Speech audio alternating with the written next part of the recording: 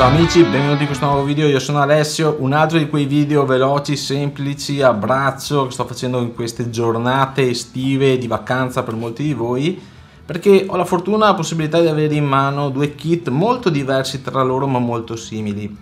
Il primo kit è questo qui che ho composto che è in sostanza la Fuji X-E4 di cui ti ho già accennato in un video precedente alla quale ho dotato il Fujinon 1024 F4 L'ultima versione, quella impermeabilizzata, proprio quella più bella anche dal punto di vista ottico, quella che ha una resa migliore. Ok, questo è il primo kit e andrò a confrontarlo così molto veloce con questo kit che è la Canon EOS R5 con l'RF 1435 F4 un altro bel vetro. Sono come ti ho detto due kit molto diversi soprattutto dal punto di vista dei prezzi ma molto simili per quanto riguarda la tipologia di foto che puoi fare perché sulla Fuji con il fattore di moltiplicazione 1.5 col 1024 va in sostanza a eguagliare lo stesso angolo di campo che hai con il full frame Canon EOS R5 con il 14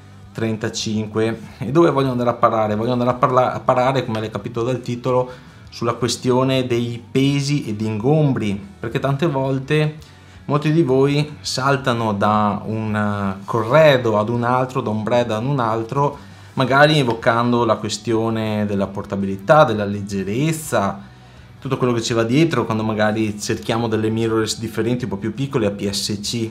Ma nella realtà, adesso guardiamoci bene negli occhi, io ce li ho in mano e quindi ho una, un feedback molto più preciso, pratico, ma provo a trasmettertelo. Guardali, guarda questi due kit come dimensioni. Secondo te ci sono poi così tante differenze da questo punto di vista? Secondo te? Allora, io ce l'ho in mano e ti dico molto schiettamente che dove io ci faccio star questa qui, onestamente ci sta anche questa, cioè gli ingombri ci sono a vantaggio della Fuji ovviamente, ma non sono poi così enormi come magari qualcuno può pensare. Quindi questa è una prima cosa sulla quale bisogna ragionare.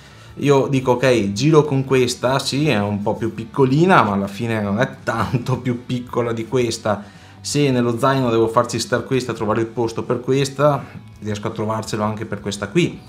Magari ecco se andiamo a valutare la questione pesi le cose possono essere viste anche in un modo differente dal punto di vista del ragionamento sulla scelta dell'attrezzatura. Perché questo kit quello con la Fuji X E4 pesa 800 grammi.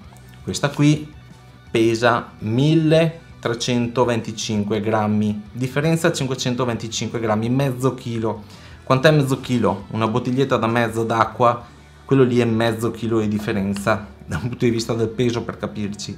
E dopo devi considerare che qui sto utilizzando una X4 che diciamocelo non è un kit ideale da utilizzare in questo modo la sua lente ideale per questo tipo di camera è questo qui, il 27 2.8, quello di kit perché è veramente piccolo, è una macchina portatile. Quando vai a metterci obiettivi di questo tipo, magari ci sta meglio una XT4, una XT3, dove le dimensioni, anche pesi, sono un po' maggiori, vado ad occupare un po' più di spazio. E anche lì allora si avvicina ancora di più la differenza nella questione di ingombri con una full frame come questa Canon R5 che dopo ci metto l'R7 insomma cambiano ancora di più ci sono delle differenze maggiori. l'R5 con il 14 35 e mezzo chilo tornando ai pesi è tanto è una differenza enorme. Allora se tu devi fare delle scalate in montagna sì è una differenza enorme il mezzo chilo fa la differenza.